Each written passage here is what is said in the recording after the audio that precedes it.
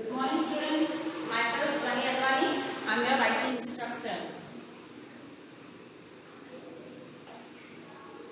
Today we will move ahead to the next chapter that is chapter number 3 Working with Windows 7. Now in this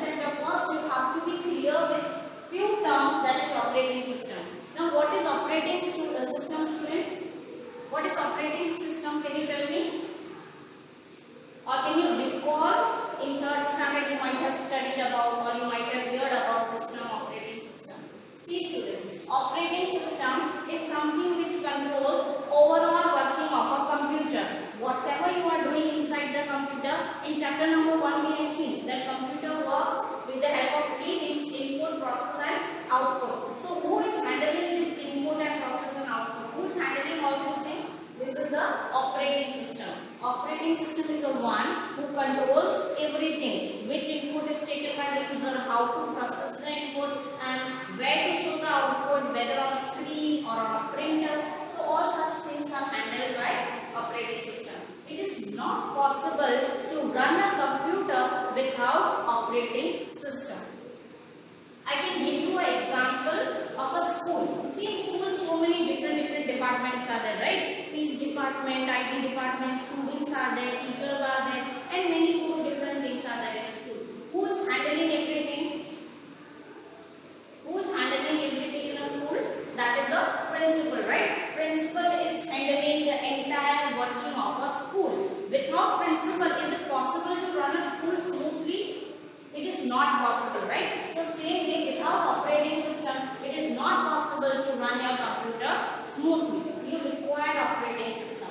Now Windows 7, Windows Vista, Windows XP and many more are there. Linux, Unix, all these are the examples of operating system. There are so many operating systems, but which operating system we are going to study in this chapter is Windows 7. We will study about Windows 7. Now, which is the latest version of Windows? Can you tell me the latest version of Windows? The latest version of Windows is Windows 10. Now, let's move towards the features of Windows 7. Which is the first version? The first version of Windows operating system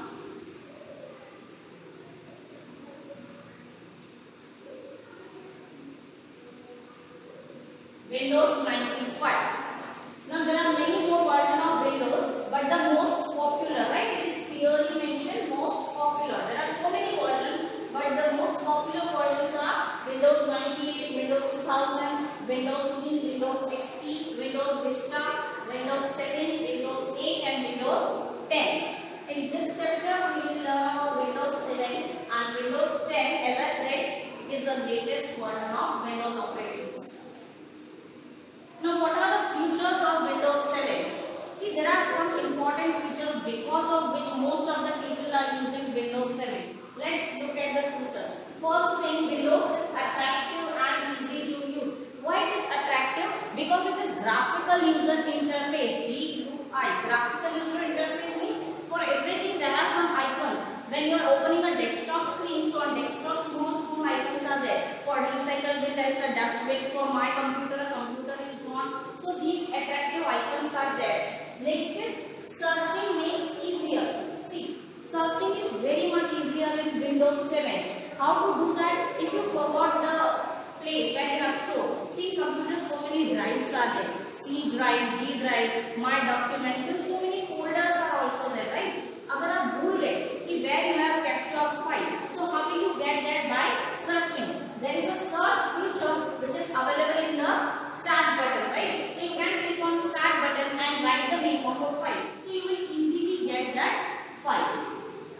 Next is Windows 7 taskbar.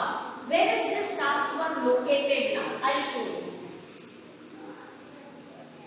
See, can you see students this bottommost side? This is the taskbar. Taskbar is located at the bottom of a screen and it has some functionalities over here. On the left hand side there is a start button. Then there are some frequently used applications and on right hand side there is date and time. This is a taskbar. Next is Windows supports multitasking. Now what is multitasking?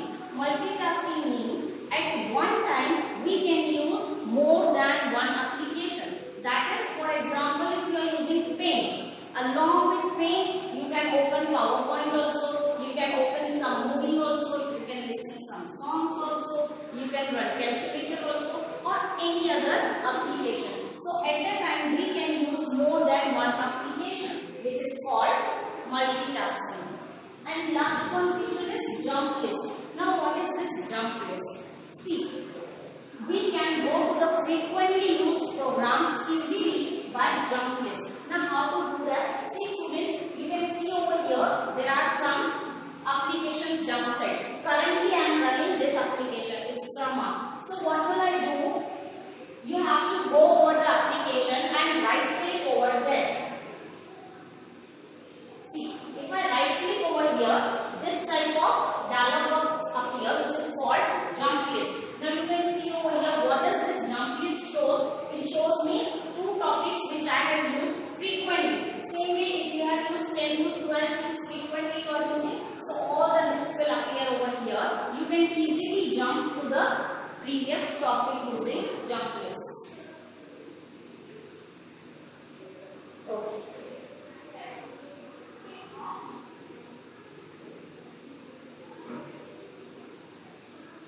Now next is starting Windows. How to start the window you all know, right? Using the CPU, is a button on the CPU, you can start a computer. Now when your computer starts, the first screen which is displayed when your computer starts is the desktop screen. The first screen which is displayed is the desktop. It contains some graphical symbols called icons. I will show you this practically. See, what is this screen students? This screen is the desktop screen. And what are these? Can you see these icons? These are called icons. My computer, network, recycle bin, control panel, all these are the icons. And this is the first screen when your computer starts and this is called desktop screen.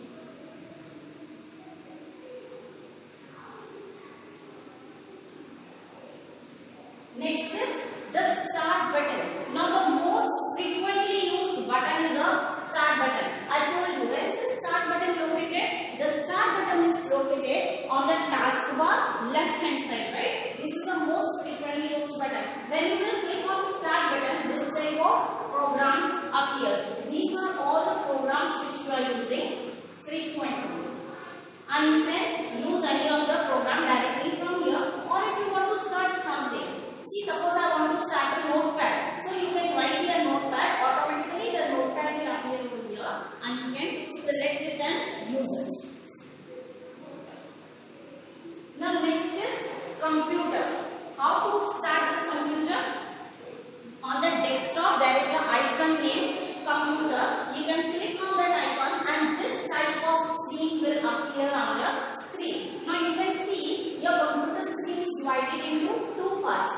This part is called the left hand side and this is the right hand side part. As you can see, left hand side part shows you some folders.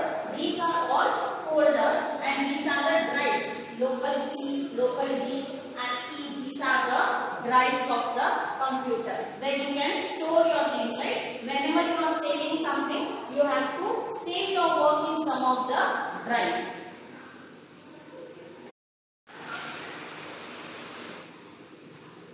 There are few more topics in this chapter. How to create a folder, how to create a file, how to save this file and folder. This we will learn in the next video. Now quick revision of what we have studied today. Today we have studied about operating system. Next is which operating system we have studied? Windows 7 and features of Windows 7. Now operating system as I said it controls the entire working of the computer. Without operating system it is not possible to start the computer. Then features of Windows 7. What are the features because of which Windows 7 is most popularly used? The features are it is easier, attractive there is a search button through which we can search our things easier and the jump list feature.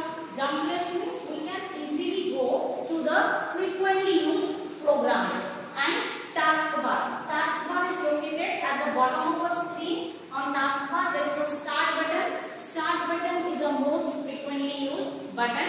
Using start button we can easily go to any application or any file which is stored in the computer. Students today along with this video I am sending a PDF file of objectives. You have to copy down the objectives in the textbook. Thank you students.